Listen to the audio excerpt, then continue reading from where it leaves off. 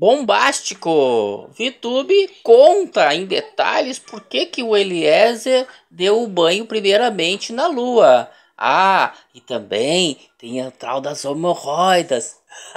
Assista aí. Gente, eu jurei que hoje eu ia mostrar muito mais meu dia, não mostrei nada. Mas queria responder isso aqui, gente. Eu não tive azia em nenhum momento. Nem no começo, nem no final da gravidez, nem durante nada. Não tive azia. E a Lua nasceu muito cabeluda. Ela tem tanto cabelo que no pescocinho dela tem até um. Um muletezinho assim, sabe? Um, é mulete que fala? Não sei.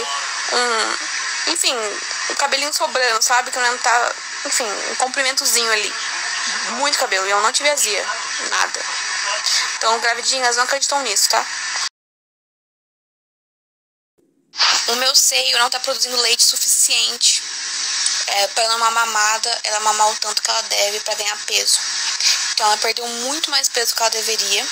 Existe uma porcentagem aí limite que você pode perder, porque depois pode começar a entrar em desidratação. É, que é o caso dela, ela tava com uma porcentagem muito alta já. Então, para ela complementar, gente ter certeza que em cada mamada ela tava tomando o suficiente. Eu tive que eu tiro leite na bomba o dia inteiro. Posso direto aqui para vocês, ele também, porque eu tô conseguindo complementar com o meu próprio leite. Mas tem mamães que produzem tão pouco leite que precisa complementar com a fórmula.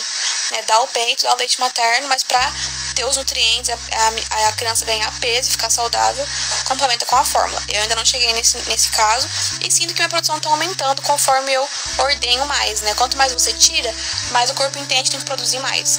Então é isso que tá acontecendo comigo, tá dando certo. Quem sabe um dia ela não tira a sondinha e meu peito volta a produzir bastante. Começa, no caso, né? Vou contar isso aqui, espero não ser julgada, porque acho que é muito normal acontecer com muitas mamães, né? O bebê é muito pequenininho, muito molinho no começo, dá muito medo de tudo. O primeiro banho quem deu foi o Eli, mas eu já dei o meu primeiro banho. O meu primeiro banho, eu vou postar pra vocês logo logo, foi super gostoso, foi, foi maravilhoso, assim. Mas o meu terceiro banho na lua, é... ela tava de costinha, na hora que vai dar banho nas costinhas, né? E ela sugou água do meu braço. Não cheguei a dar caldo nela e nem afundar ela. Tem mães que acontece isso, que escorrega, porque realmente é muito molinho na banheira. Não chegou a esse ponto, mas ela sugou uma água do meu braço e ficou meio assim, ó, travada. Já fiquei achando que era caso de engasgo, de ter que fazer manobra, mas não foi. Ela só assustou mesmo. Mas eu comecei a chorar de desespero, foi desesperador. Eu tô contando isso porque eu tô tentando contar todas as coisas mais reais para vocês. E eu sei que tem muita mamãe que passa por esse susto e fica desesperada, sabe? Eu quase que não quis mais dar banho, mas tá dando tudo certo. Por diversos motivos, gente. Primeiro que na primeira semana eu tive um surto de preocupação em excesso. Logo no meu baby blues, eu tinha medo de tudo. Então eu comecei a ter muito medo de tudo, sabe? Assim, de verem ela, de saberem quem ela é, de saber tudo dela. E eu fiquei com muito medo porque o mundo tá muito perdido, sabe? Tem muitas mamães que nem são públicas, que nem, não mostram os filhos na internet, não postam foto pra proteger de segurança o filho mesmo. Mas óbvio que eu vou mostrar porque eu mostrei a gravidez inteira e né, não é agora que eu não vou mostrar, mas no meu tempo. Quem me recomendou fazer isso também foi a Loma. Ela demorou quase um mês pra mostrar a Melanie. Falou que foi a melhor coisa que ela fez. Ela respeitou o tempo dela. Ela se sentiu bem, segura para isso. Eu também não quero que a Lua passe pelo que a Maria Flor passou com a Virgínia, por exemplo.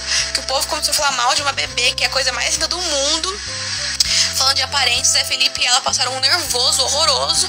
Eu tenho certeza que não foi fácil. E a menina é perfeita. E a Lua também é. E as pessoas são muito maldosas. Então eu não quero passar por nada disso, sabe? Na minha opinião, ela nasceu minha cara. Mas agora ela tá muito a cara do Eli. Assim, ela tá. Eu acho que eu parei meu marido mesmo, gente. Mas alguns traços são meus. Eu acho que o nariz é meu, a orelha é minha. E. Talvez a boquinha. Não, a boquinha também parece bastante a dele. Não sei, gente. Algumas coisinhas são minhas, assim, mas uma boa parte tem a cara dele, assim. O olhar, a testa. Tem, é bem dele, assim, o queixinho. A lua não assusta com os latidos. Às vezes, com um latido muito alto, agudo, assim, perto dela, ela dá uma assustadinha. Mas ela não assusta. Não sei se tem a ver com a barriga que ela ouviu muito latido ou se o bebê realmente não se assustou fácil com barulho alto. É, mas eles são bem protetores, dormindo embaixo do berço, dormindo embaixo do carrinho. Alguém chega, eles não deixam entrar no quarto, eles latem, protegem, assim. A Lila tem um pouquinho de ciúmes e o Tite também, mas um ciúmes normal, assim, sabe? Nada em excesso ou fica bravo latindo pra lua, nada assim, sabe? Muito pelo contrário, quer cheirar, brincar. Gente, eu quero fazer o ensaio newborn. Minha mãe pegou ela agora porque ela não tá aqui. quero fazer um trial newborn com ela essa semana que vai entrar depois do feriado. Aí logo que sair as fotos eu já mostro pra vocês. É, acho que semana que vem ou na outra, não vai demorar muito não. Mas também vou mostrar as fotos quando ela nasceu, de como foi evoluindo o rostinho, tudo. Vou mostrar todos os vídeos, fotos pra vocês, tá? Só não mostrei ainda porque eu quero fazer isso no momento que a minha cabeça estiver bem em paz, não tá muito ocupada, cheia de preocupação. Agora que passou os primeiros 15 dias, tá muito mais tranquilo. É, quero que a minha saúde mental seja bem tranquila, sabe? Porque vai ser um momento especial para mim. Eu quero que seja tranquilo, que eu consiga dar atenção, conversar com vocês, mostrar. E tá com a cabeça bem, principalmente, né? É, ainda mais com aqueles medos que eu tive no início, de excesso de preocupação com tudo. E é isso, agora eu tô muito mais em paz. Agora eu vou fazer esse ensaio e mostrar pra vocês. Ela dorme no berço aqui dela né? Gente, esse ruído branco quase que entra na nossa mente, né, mãe? Não é? Quase que entra na nossa mente o ruído branco, de tanto que a gente deixa aquele negócio ligado. Que hora que tá ligado, a gente nem percebe que tá ligado, não, fica ouvindo. Gente, cólica, de cólica inconsolável, assim, ela não teve ainda, se Deus quiser não vai ter, mas ela teve muita dor de barriga, porque ela ficou enfesada, né? Ela ficou três dias sem fazer cocô.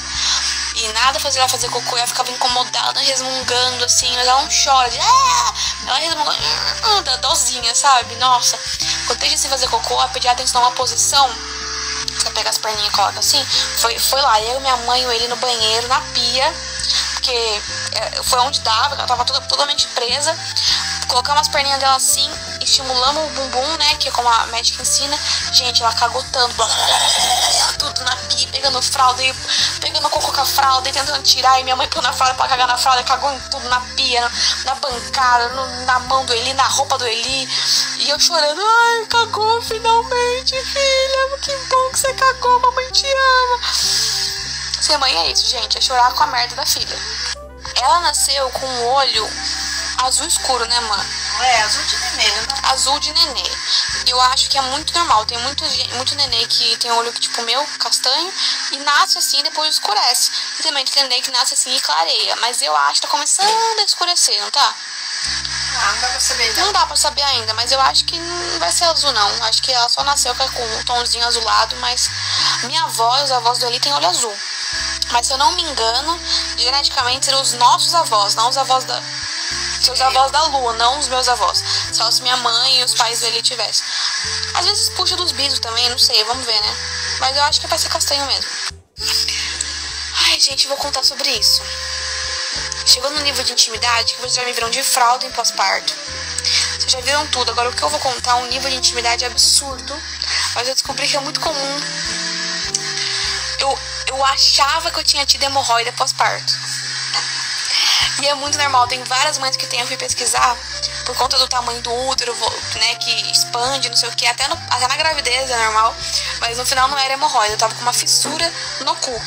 Porque, sabe aquele dia que eu postei um stories aqui amamentando, segurando bosta, porque minha filha tava mamando e eu falava, quero cagar, e eu não conseguia ir? Pois é, na hora que eu fui, eu tava com tanta. Eu tava tão ressecada, tão seca, né, mano? Nossa. Que machucou. Na hora que saiu o negócio seco lá, né? Ai, que intimidade, meu Deus. Machucou minha bunda, gente. Passar pomada e tudo. Mas assim, não chegou a ser hemorroida, mas tem muita mãe que tem. Vou representar aqui as mães da hemorroida pós-parto também, gente. Estamos já entregando tudo. Hoje foi dia de dar check em mais uma vacina da lua, gente. Chorei porque eu sou chorona. Mas assim, foi super tranquilo. A BIP Saúde é quem tá cuidando da vacinação da lua. Olha, eles chegaram em casa, como eu falei, você marca online 100%, tá? O dia horário pra você.